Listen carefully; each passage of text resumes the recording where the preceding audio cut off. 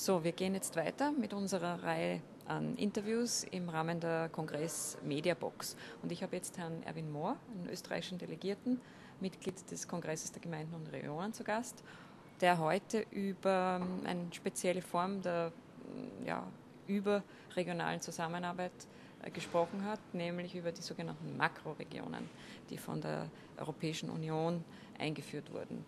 Äh, könnten Sie uns vielleicht mal sagen, was ist denn das Spezifikum dieser sogenannten Makroregionen? Was unterscheidet Makroregionen von anderen grenzüberschreitenden Zusammenschlüssen in Europa? Also ich glaube, Makroregionen kann man am besten definieren über eine räumliche Ausdehnung. Also es gibt äh, unglaublich viele regionale Zusammenarbeiten zwischen zwei Ländern, drei Ländern über die Grenzen hinweg.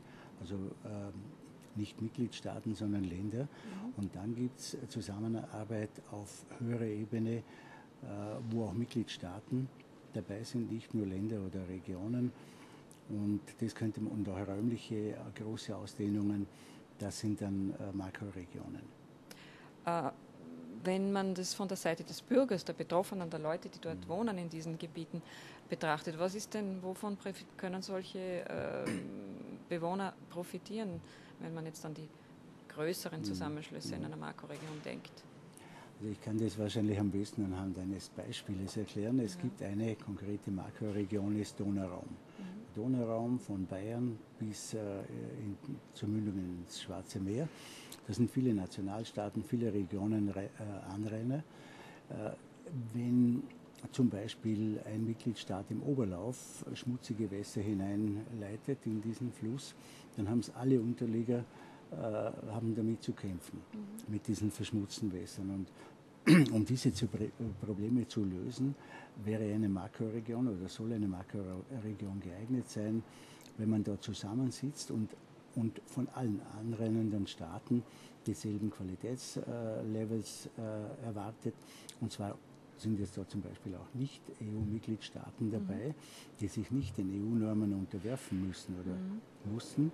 Aber im Rahmen dieser Strategie akzeptieren dann alle dieselben Levels. Und da kann man zum Beispiel über die, über die Reinheit des Flusses von der Quelle bis zur Mündung reden, man kann über die Schiffbarmachung und viele andere Dinge reden, äh, die man sonst eigentlich in, in einer interregionalen Zusammenarbeit noch weniger kann. Mhm. Deshalb ist hier sicher eine Makroregion geeigneter zur Lösung der Probleme.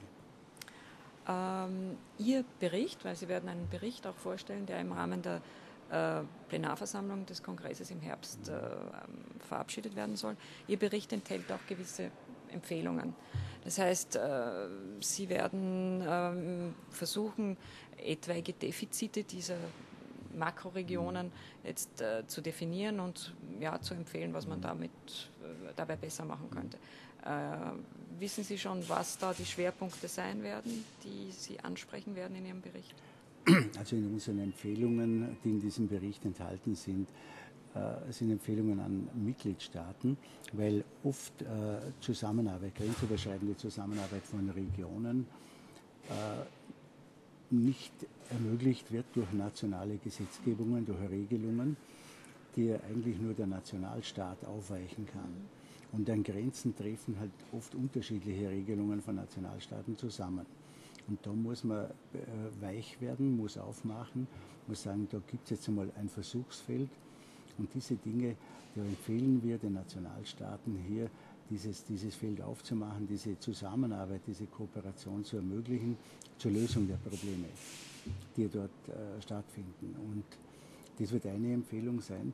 Eine weitere Empfehlung über Makroregionen wird sein, man muss wirklich klare Ziele haben. Wir erleben auch Makroregionen, wo man sagt, wir sind eine Makroregion, weil es gut klingt und dann passiert nichts. Das wäre ein schwerer Fehler.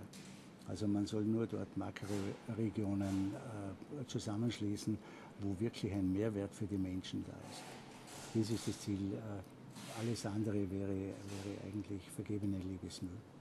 Gut, dann danke ich Ihnen schön fürs Gespräch. Gerne.